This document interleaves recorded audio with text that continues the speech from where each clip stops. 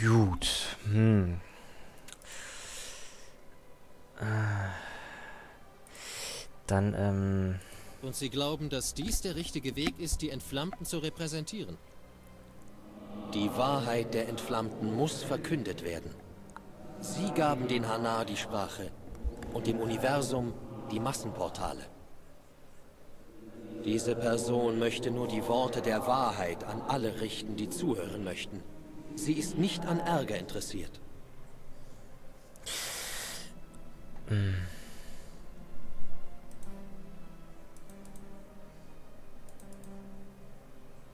Wie wäre es, wenn ich Ihnen eine evangelikane Erlaubnis kaufen würde? Der finanzielle Aspekt ist Teil der religiösen Einschränkung. Diese Person lehnt es ab, dass jemand zahlen sollte, um die Wahrheit verkünden zu dürfen. Aha. Aber diese Person verfügt ohnehin nicht über die beim Kauf einer Erlaubnis anfälligen 150 Credits. 150 Credits können Sie haben. Eine sehr großmütige Geste. Sie sind kein Hanar, aber unterstützen uns dabei, die Wahrheit der Entflammten zu verkünden. Tja, man tut, was man kann. Diese Person wird dem Zitadell-Sicherheitsofficer keine Probleme mehr bereiten und dankt Ihnen vielmals. Hm, bitte, bitte. So, und nun ist weg. Endlich ist der Hanar weg. Ich danke Ihnen. Ich helfe immer gern. Hier, für Ihre Hilfe in dieser Angelegenheit. Jetzt krieg ich 200. Wenn Sie mich entschuldigen würden, ich muss mich bei meinen Vorgesetzten melden. Jo, und tschüss. Ach, ein Medi-Geld kriege ich. Naja, okay, das ist auch verdammt viel. Ja. Tja. So kann es gehen. 150 Credits mal losgeworden. Das für einen vielleicht guten Zweck. Kann ich leider nicht beurteilen da ich nicht weiß, was der da predigt oder was der überhaupt... Ach, keine Ahnung. Irgendeine komische Religion. Gut, hier geht's dann ja wieder so zurück. Habe ich das Gefühl. Oh, sieht schon echt beachtlich. Jo, Kaiden, was hast du denn? Hört noch jemand dieses tiefe Brummen? Offenbar kommt es von der Statue. Dafür bekommt man ja Zahnschmerzen. Ich höre kein tiefes Brummen. Muss ich dich leider enttäuschen. So, wir haben jetzt schon drei Keeper gescannt. Vielleicht finden wir noch ein paar andere Keepers. Oh, da ist jetzt der Hanna, oder wie? Haben wir den jetzt hierhin vertrieben? Hallo, Wesen menschlicher Abstammung. Dieser ist begeistert, Sie hier in seinem Emporium begrüßen zu dürfen. Wer sind Sie? Dieser trägt den Namen Dalaninder, aber viele sagen einfach Dallon zu ihm. Mhm. Bitte lassen Sie sich alle Zeit der Galaxie, um diese exquisiten Waren zu betrachten, die dieser anbietet. Nee, danke. Ich muss jetzt los. Auf bald zurück. Dieser bekommt häufig neue Lieferungen. Hier ist irgendwo ein Ausrufezeichen, also vielleicht eins höher. Aber hier geht es ja noch irgendwie höher. Und hier ist nichts. Aber hier ist ein Keeper. Ein Keeper mehr gescannt. Puh. Tja.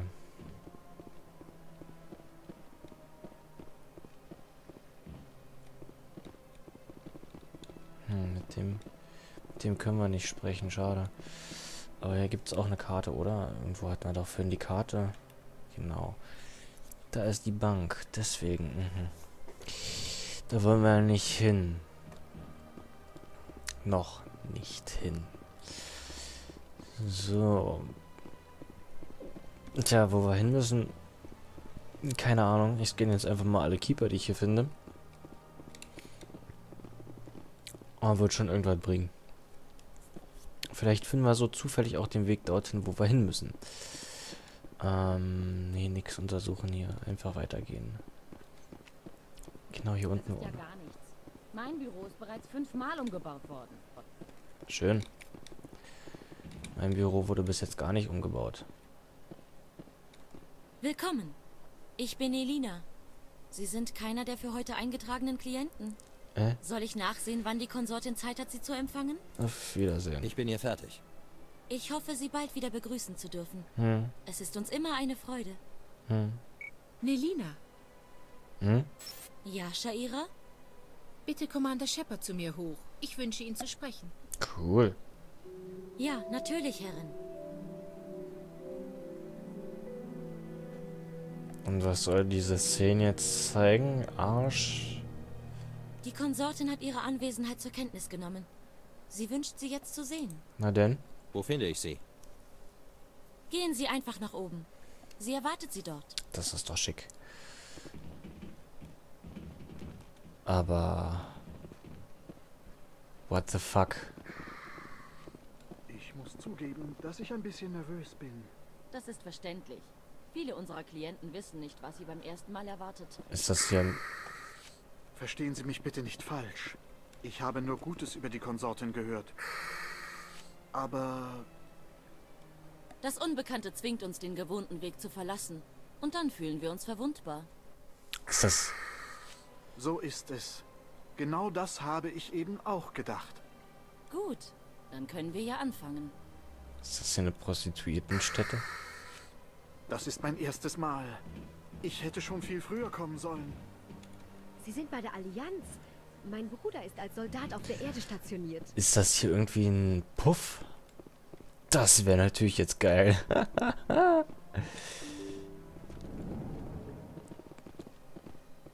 dann nehmen wir auch gleich mal eine Hure. Das ist nah genug, Commander. Hallo. Ich habe seit Ihrer Ankunft hier auf Zitadelle viel über Sie gehört. Und wer bist du? Was bieten Sie hier an? Das kommt auf Ihre Bedürfnisse an. Einigen biete ich Rat, anderen Trost. Anderen Sex. Ich habe ein Problem, bei dem ich kompetente Hilfe benötige. Na dann raus damit. Vielleicht kann ich helfen. Ich habe einen Freund, Septimus, einen ehemaligen turianischen General. Ich möchte nicht ins Detail gehen, aber er sah in mir mehr, als mir lieb war. Wir haben uns gestritten. Jetzt betrinkt er sich den ganzen Tag in Koras Nest und Da muss ich rein. Lügen über mich. Wenn Sie als Soldat mit ihm reden könnten, würde er Ihnen vielleicht zuhören und es dann sein lassen. Und was ist Was ist zwischen Ihnen vorgefallen? Ich respektiere seine Privatsphäre zu sehr, um ins Detail zu gehen. Ah, ah, ah. Wenn er Ihnen erzählen möchte, was passiert ist, so ist das seine Entscheidung. Na gut. Was genau soll ich Ihnen denn sagen? Appellieren Sie an seine Ehre. Zeigen Sie Respekt vor seinem Rang als General. Hm. Wenn Sie ihn überzeugen könnten, keine Lügen mehr über mich zu erzählen, wäre ich Ihnen sehr dankbar. Oh yeah. Nun muss ich Sie bitten zu gehen. Es warten noch viele Klienten auf. Aber nur für ein Techtelmechtel. Die Azar Asari-Konsortin Shaira hat sie gebeten, mit General Septimus zu sprechen. Sie ist besorgt, dass dieser frühere Kunde von ihren falschen Anschuldigungen äußerst und ihren Ruf schädigt. Och Mensch, Mädchen. Tja, so ist es halt, wenn man eine Prostituierte ist. Es gibt da halt einige Männer, die merken es nicht. So ist das halt. Aber hey, die helfe ich doch gerne. Aber nur, wenn ich dann ein Techtelmechtel kriege. das wäre super geil. So, wo geht's denn hier lang? Okay, gehen wir mal hier weiter lang. Dann werden wir uns auch in, dem, in meiner nächsten Aufnahmesession mal darum bemühen, dorthin zu gehen, in diese Kneipe. Falls, falls man da so ohne weiteres hinkommt.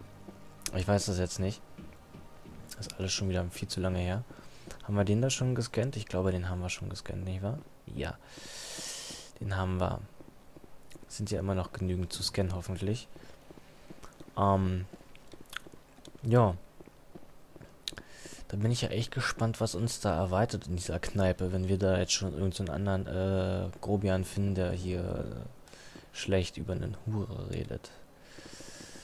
Dann wird das ja wohl... Ey, hier ist so ein Reisen. Bezirke. Koras Nest. Dann werden wir uns mal jetzt hinbegeben. Langsam aber sicher. So, wenn ich mich recht entsinne, gab es da irgendwelche Angreifer, die uns unbedingt, ähm, sind in dem Herrenclub Korsnitz in den Bezirken angekommen. Ja, gut. Genau. der.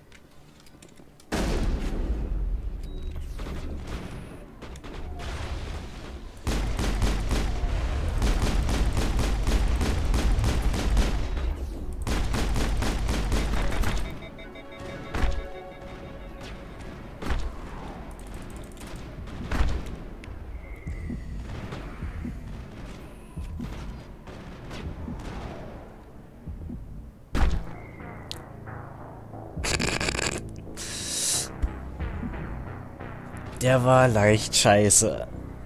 Ähm. Ich hoffe, wir müssen jetzt nicht allzu weit wieder gehen. Aber, ähm, ich habe ja gesagt, hier sind irgendwelche Gegner. Das wusste ich noch. Verdammte Scheiße. Ah. Na gut, die machen wir noch schnell fertig. So. Genau. Das ist der.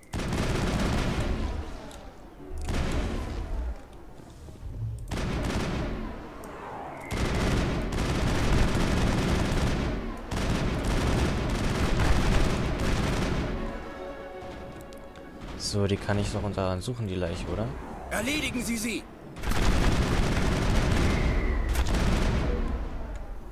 Das waren Sarens Männer. Ich merk schon. Ich merk schon. Aber hey, wir haben gerade einen schicken Grafikbug entdeckt. Ist es eigentlich erlaubt, hier so rumzuballern? Ich glaube nicht. Was ist denn los, Kain? Ich verstehe, warum dieser Schuppen so beliebt ist. Es gibt hier tolle, äh, Aussichten? Oh yeah. Hey, Lieutenant, fahren Sie die Zunge wieder ein, bevor Sie noch drauftreten. Er hat aber recht, Mädchen. So.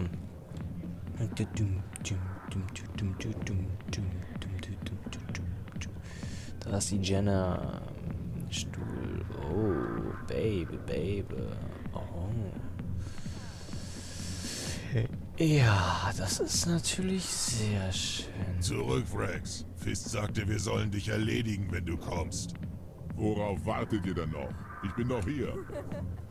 Das ist Fists einzige Chance. Wenn er klug ist, nutzt er sie. Er kommt nicht raus, Rex. Ende der Geschichte. Die Geschichte fängt gerade erst an. Na, na, na, na, na. Aus dem Weg, Menschen. Ich habe keinen Streit mit euch. Das worum ging es denn da? Wer weiß, wir sollten uns da lieber raushalten.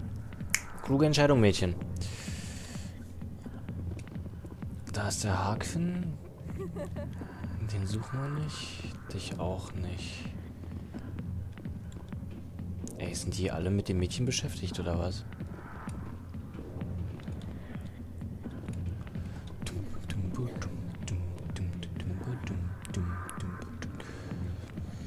Nun gut. Gast. General Septimus, da ist er. Gut, und damit werde ich erstmal die Aufnahme beenden und im nächsten Part widmen wir uns ausgiebig dem General Septimus.